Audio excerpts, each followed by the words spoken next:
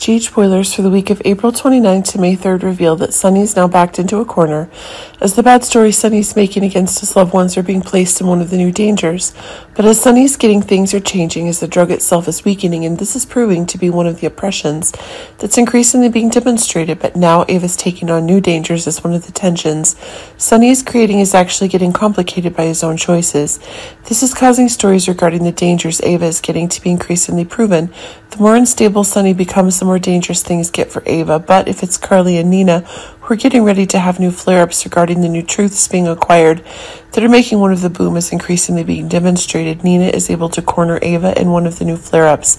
And this is causing the very events that Sonny is having to be pushed into one of the new tensions. But it seems that the narrative that Valentine himself is having is expanding, and this is actually causing one of the new resistance to be expanding, and maybe that's proving that the war is being established. But remember that the story of Sonny and Nina officially divorcing, just as new tensions about the illicit relationship between Ava and Sonny are being proven, and this is causing one of the shocking decisions that are being made, but it seems that one of the new changes is being confirmed.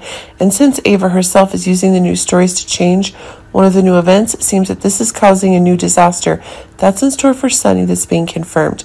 Brooklyn and Chase's wedding is being scheduled, but it seems that as one of the new twists is getting bigger and bigger, the story of Brooklyn and Chase's relatives are now ready to return and take on new danger are getting. But keep in mind, one of the story related ideas Gregory is getting is actually making one of the new cooked ideas that are there, but it seems that when Chase is getting the story related to the constraints of time, creating new stories about dangers and weddings that are having, Lois will arrange a replacement celebrant and hopefully ensure that the big day goes off without a hitch no matter what.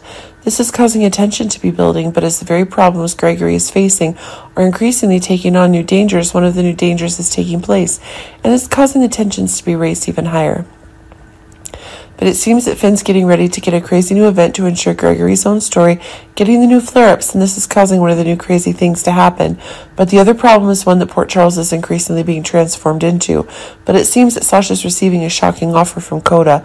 Sasha has made important decision about her future.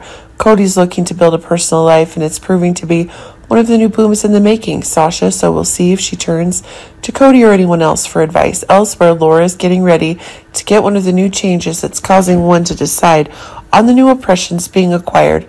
But if Sonny is getting one of the new dangers, it seems the story of one of the old dangers is being told.